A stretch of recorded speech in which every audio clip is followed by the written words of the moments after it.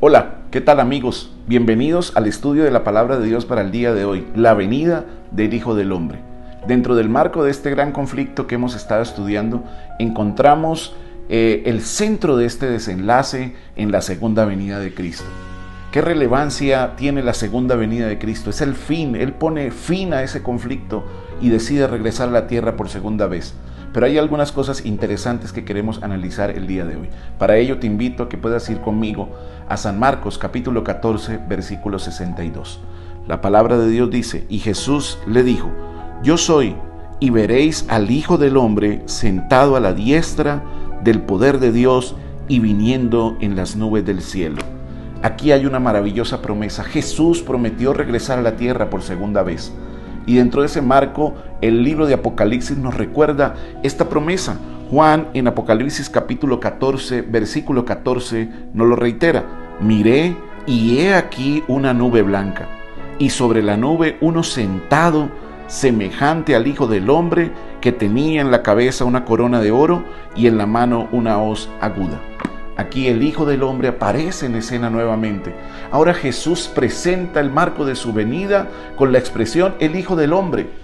¿Qué importancia tiene para nosotros que Jesús haya utilizado la expresión Hijo del Hombre?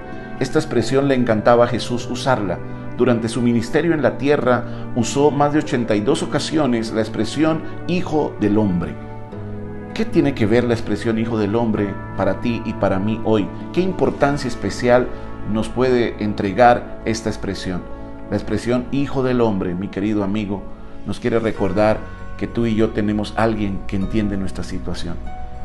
Nos ayuda a recordar a través de la expresión Hijo del Hombre que tú y yo no estamos solos en medio de este conflicto, que Jesús comprende nuestras luchas, nuestras necesidades, que ese Dios maravilloso que decidió entregarse en favor de la humanidad y venir a vivir como uno de nosotros, nos recuerda que su venida majestuosa y con poder viene dentro del contexto de alguien que nos entiende. Jesús entiende tu necesidad, querido amigo. Y puedo recordar una experiencia que me sucedió interesante. Cierto día iba por una de las vías de nuestro país, había una vía dañada, mi carro se dañó dos de las llantas, era de noche, era un lugar riesgoso, no sabía qué hacer. Y en medio de la preocupación, elevé mi corazón al Señor. Eh, nadie se atrevía a detenerse, podía ser una trampa, podía ser algo para hacerles daño, pero de pronto se detuvo una, una camioneta. Venía un señor con su esposa y sus hijas. Cuando los vi sentí confianza. El Señor se bajó, decidió ayudarme a arreglar la llanta para llevarla y regresar nuevamente a ayudarme. Y no pude evitar preguntarle, Señor, disculpe, ¿usted por qué se detuvo en este lugar? Es una zona muy peligrosa. Y él me dijo algo que no puedo olvidar. Él me dijo, mire Señor, yo entiendo lo que es estar en esta situación. Cierto día me pasó lo mismo en esta vía y nadie quería ayudarme. Por eso me detuve, porque yo sé que se siente estar aquí. Sabes, Jesús sabe que se siente. Jesús comprende tu angustia y tu preocupación.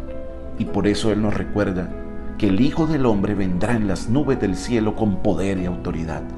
El Hijo del Hombre regresará a reclamarte como suyo, porque tú y yo decidimos entregarle nuestra vida. ¿Aceptas hoy tú el don maravilloso de la salvación?